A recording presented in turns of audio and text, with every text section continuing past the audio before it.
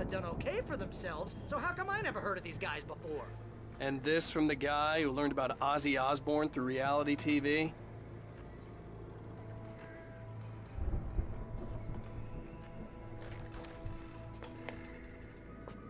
Sleep. We all spend a third of Oh, our Night dreams in its soft embrace, Man, somewhere brings between memories. fantasy and Hey, oblivion. remember when I got you that gig? But Your first have a way real writing job. What got you started? Was this one of your episodes? versa. In Night Springs. Tonight's episode, The Dream of Dreams. Eh, that's by someone else. We join Mr. Jones as he explores the endless dreamscape, only to be brought to a sudden stop by a decidedly mundane situation. A long line of people. Hey, Jones, right? Listen, we're gonna have to wait until His Highness over there is good and ready. Oh, wow. Who's that? You don't know him? What are you, new? He's the guy dreaming us. Well, not just us. He dreams everything. All of this. But wait, no. I'm the one who's dreaming. I'm asleep. Isn't isn't this my dream? Oh, yeah. Sure. Get real, pal. You're just another dream. I'm a dream. You're a dream. The weirdo in the diving suit is a dream. And the girl made of smiles and sunshine is definitely a dream. But I'm pretty sure I'm dreaming this. Well, maybe you're a really confused dream. What am I, a shrink? All I know is I'm going with the smart guys, and they say that's the guy doing the dreaming. Right there. I don't know what that means. It means we keep him happy. No sudden falls. We make sure he has his clothes on when he goes out in public. No chases where the monster is nipping at his heels and he runs like crazy, but his legs don't seem to get him anywhere. None of that.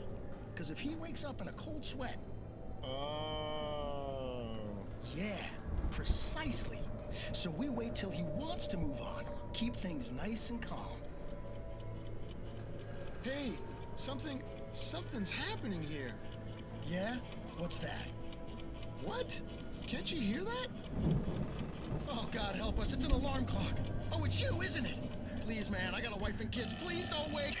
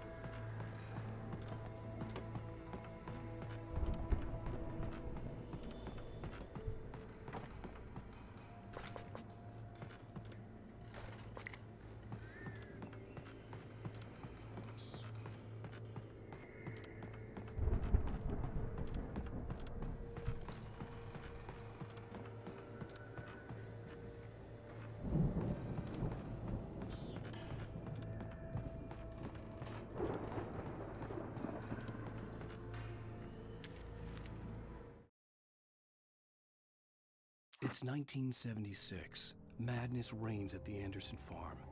Contrary to all logic, the headiest ingredient of their moonshine is unfiltered water from Cauldron Lake. The Andersons feel like gods. Odin can't stop laughing. He contemplates cutting his eye out. Tor runs across the field, naked, shrieking, hammer in his hand, trying to catch lightning. Their songs have power. Something ancient is stirring in the depths, coming back.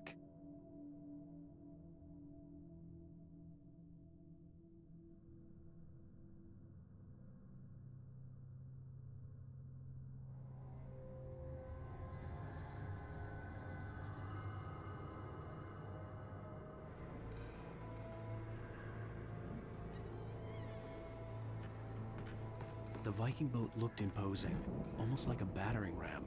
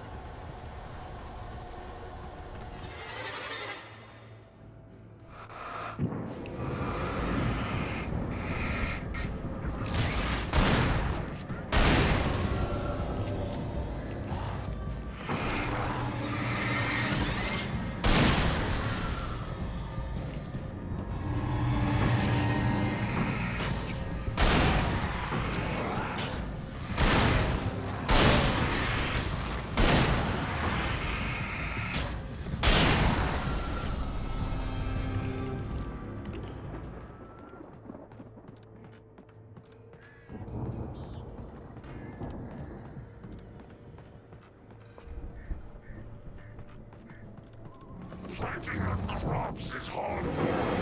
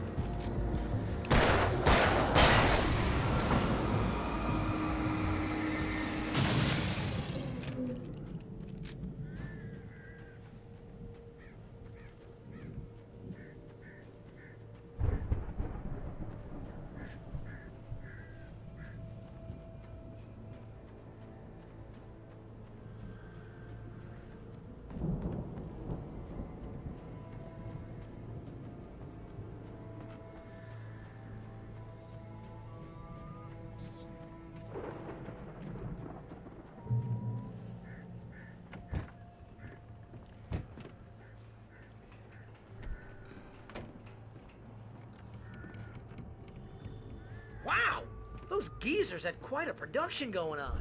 Ooh, you know what, Al? If we make it through this alive, I'm gonna start representing them. Yep, sell this stuff online, maybe get a reality show going, release a new single. Good luck with that, pal. Hey, you find us a way out of here, okay? I'm gonna take a closer look at this stuff.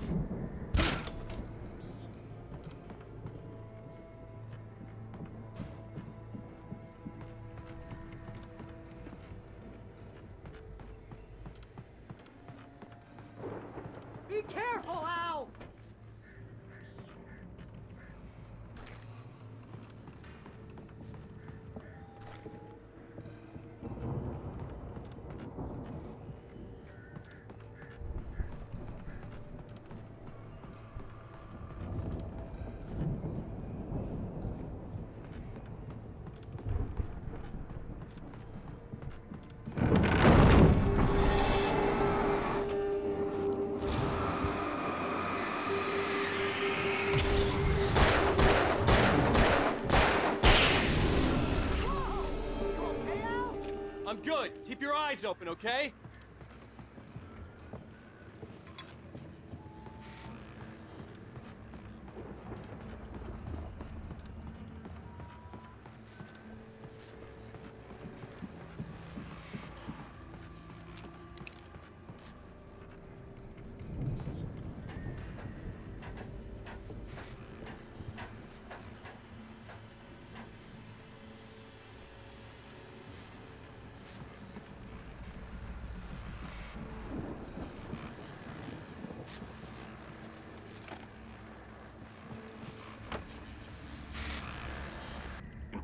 As you regular listeners know, I tend to work through the night, but I'm not the only one. Deputies Mulligan and Thornton are taking a couple of moments off their busy schedule to join me here in the studio. Boys, how busy are you now? Deerfest is almost here, isn't it? I, I bet that keeps you in business. Pretty busy, yeah. Actually, Pat, we've been real busy with other stuff, uh, uh, which concerns an ongoing investigation. we can't talk about that, Thornton.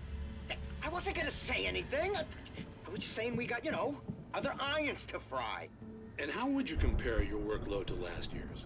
Things have seemed relatively peaceful to me, but people do tend to get a little wild this time of year. Oh, it's wild, Pat. It's pretty wild. There's been all sorts of trouble this year. Vandalism, fighting, public disturbances. A lot of people gone missing, too. Yeah, yeah, it's, it's pretty much the uh, usual stuff, Pat. Uh, just, you know, uh, a lot more of it. Now, is it just me, or does Deerfest get wilder every year? People seem to be more drunk, at least, or they start earlier and younger. Oh, it's definitely not just you, Pat, but... Definitely, Pat. Hey, I'm talking here, Thornton. Uh... Oh, shoot, I lost my train of thought. Not just me. Oh, uh, yeah, yeah, it's wilder, Pat, but actually most of the trouble seems to be coming from grown men. People who ought to know better, you know? Kids are doing fine this year. Well, that's nice to hear at least. Boys, I want to thank you for stopping by. I'll let you get back to your patrol. Sure thing, Pat. Yeah, sure thing, Pat.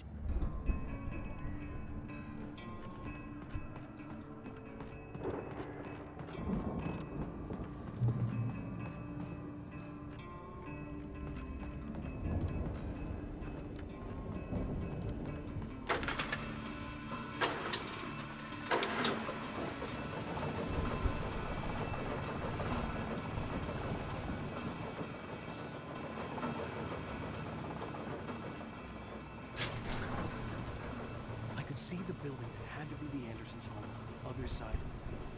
It wasn't far now. I wasn't worried about trusting the ramblings of two burned-out geriatric wrecks. They had the goods.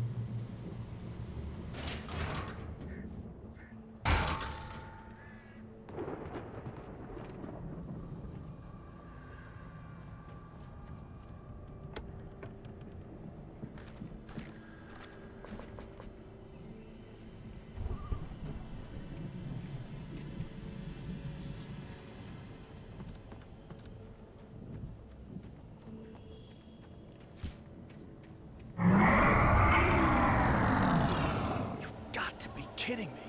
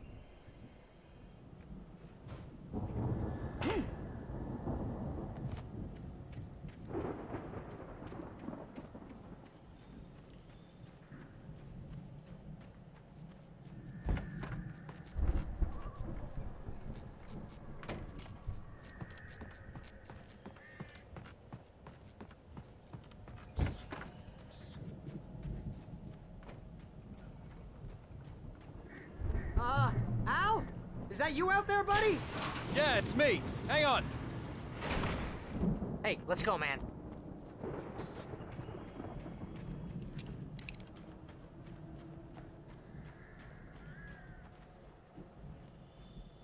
I think we're gonna have to work together to open this gate, Al. Looks pretty heavy.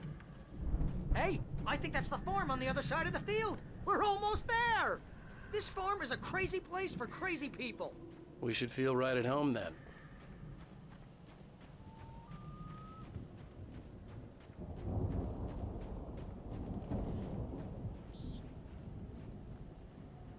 Come on, one more gate. Let's do this thing.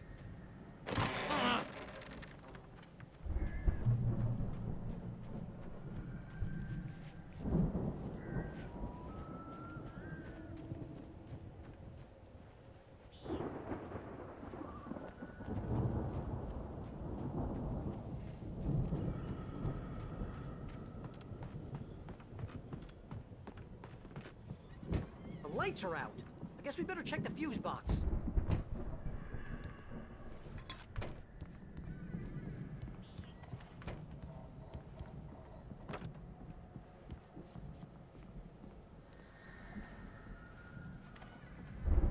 The power downstairs was out, but I was sure I could fix that at the fuse box.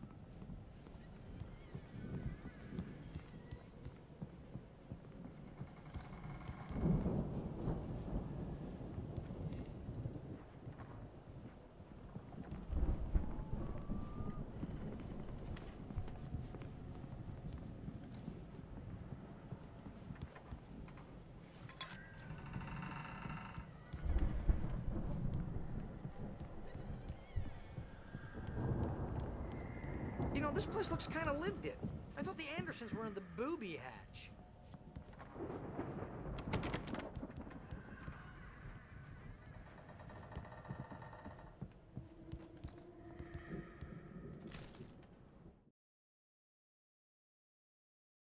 Again, Alice's screams rang in the stillness of the night.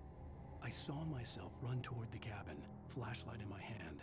I followed my past self. I was an out of body observer, a time traveler in a crazy drunken dream. This was the beginning. The night Alice had disappeared. The mystery of what had happened during the missing week was about to reveal itself. Come on, Al, let's get the lights on, huh?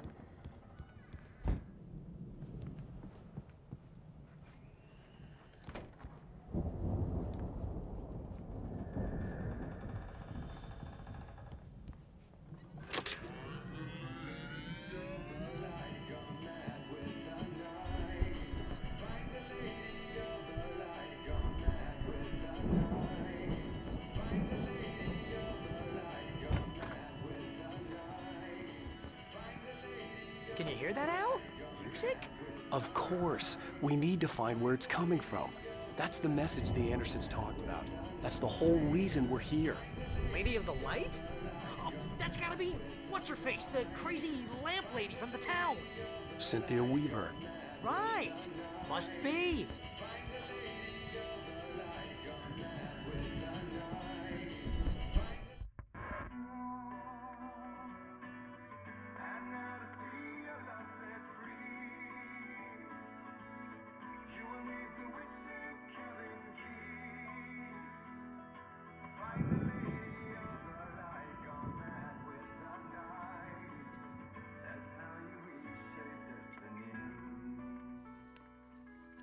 Okay. We need to find Cynthia Weaver. We'll stay here for the night and head back to town as soon as it gets light. Hey, Al. Lots of hours before dawn.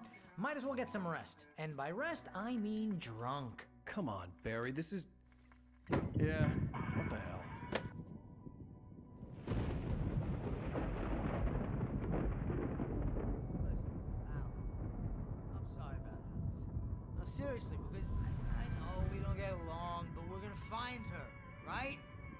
you're a crazy bastard, I'm gonna stick by you, no matter what, ever, Al. Sure, like a brother. I'm a writer, god damn it. Correct.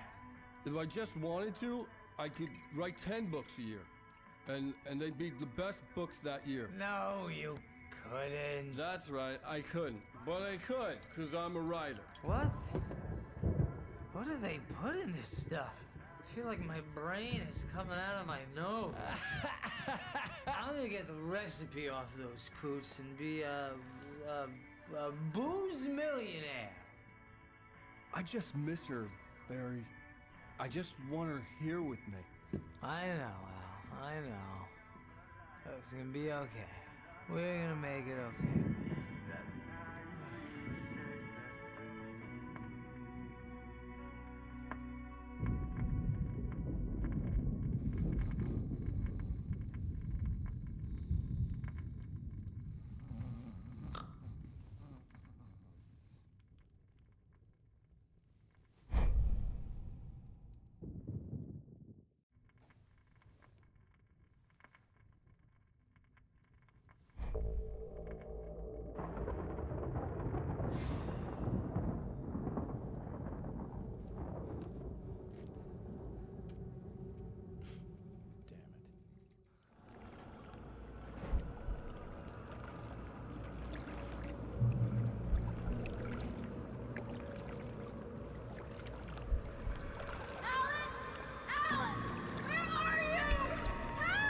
Alice, I'm coming! It's all right! I'm coming! It was a crazy drunken dream, and yet it was more than that. It was the truth, a suppressed memory unearthed by the Andersons' moonshine. I was there, an out-of-body observer. This was the night Alice and I had arrived at Bright Falls, the night Alice had disappeared. I had a chance to find out what had happened. I remembered being surprised to see the cabin dark. Alice would have never turned the lights off.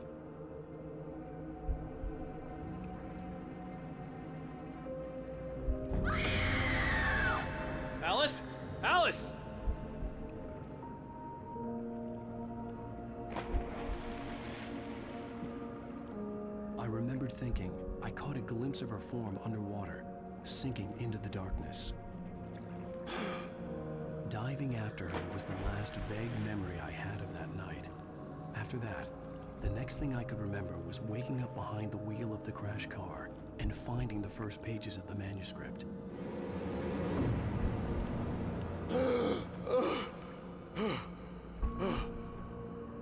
I couldn't find her in all that blackness. I must have thought she drowned.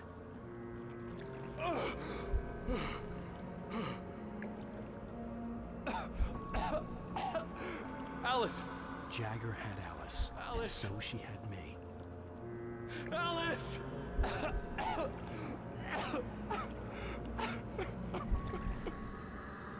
I'd been easy prey. Look at the cabin. Is there someone in the window? Alice? Maybe she didn't drown after all. Maybe she's inside. Alice! Yes. The dark presence had touched me. She had dug her nails into my brain and used me, made me her puppet.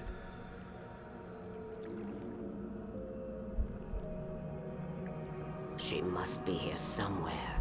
Maybe upstairs in the study. Alice! Yes, that's where she is. You can apologize. Alice! You'll laugh at the whole thing together and put it behind you. Alice? She's not here. You were foolish to think so. No, she's dead. She drowned. No, no, no! It's your fault your wife is dead. You are guilty. All she wanted was to help you right. You killed her. Oh, hush. There's still hope. Cauldron Lake is a special place. Here, you have the power to change things. She wanted you to write. I will tell you what to do.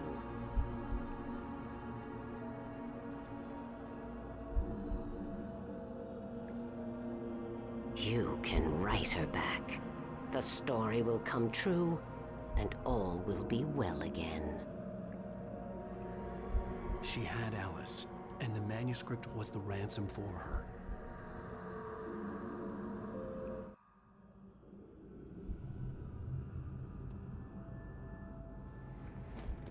Yes. All right. I'll fix it. I'll bring her back.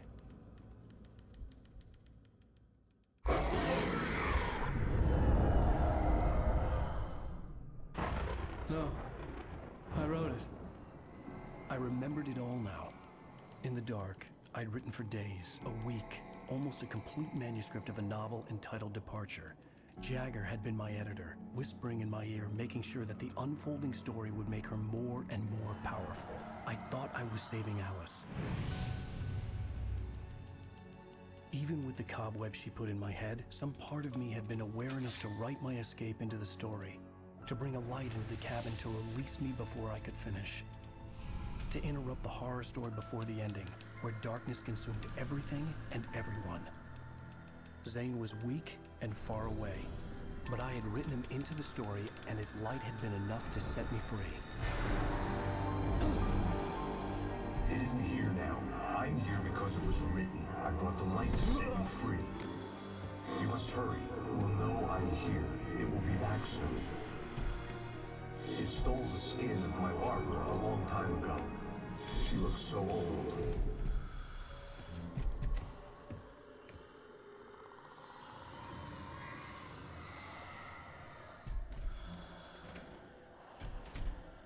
I had woken up, confused and groggy, my mind consumed by darkness and fear. All I could do was to escape.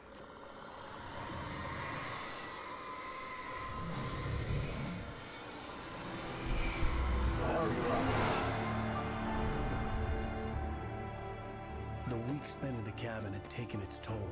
I was barely conscious and fading fast. Had to have cost Zane terribly, thrown him even deeper into whatever dark place he now haunted. But he had managed to weaken the dark presence, kept me safe that night.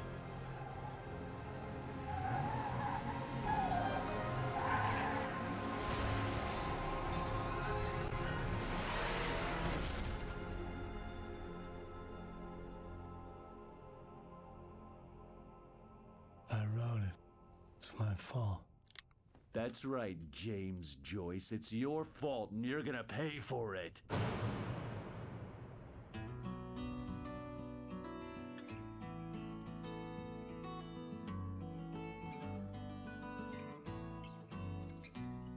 Previously on Alan Wake. Under the influence of the dark presence, I wrote a horror story that is coming true. Jagger had been my editor, making sure that the unfolding story would make her more and more powerful. Some part of me had been aware enough to write my escape into the story. Together we can create something absolutely wonderful. The lake, it, it does something to the works of art created here. It makes them come true. My mom gave me this old light switch. The clicker. Alice is being kept in a dark prison. I need to find Cynthia Weaver to fix this. It's your fault, and you're gonna pay for it. Well, we're expecting a record crowd from the neighboring counties. Naturally, we hope to break the record set by last year's Moose Fest in our neighboring town, Watery.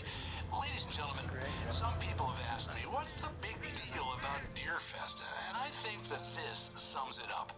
It's about friendship and community. We've got a great party coming up, but uh, let's try to hold it in until tomorrow and get through the night in one piece, all right? Have it.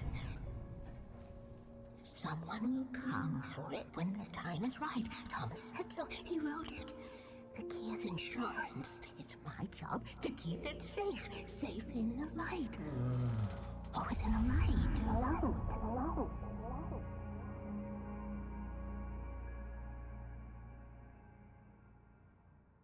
All the manuscript pages were gone. The FBI agent had taken them. I think... I think my tongue just took a crap in my mouth. Ugh. Oh, wait, we're in jail now? Oh, Al. Al, this is not good. That about sums it up.